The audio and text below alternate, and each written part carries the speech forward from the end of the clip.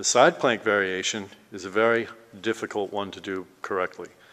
Just like a front plank, you want to make sure that you maintain contracted quads, glutes, stabilization throughout the core, squeeze the shoulder blades together so that both shoulders stack on top of each other, and have your hand on your hip.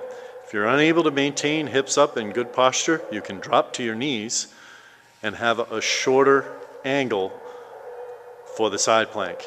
This is equally as challenging and may be a needed progression that you may need to follow to gain strength to move on to the more challenging progression.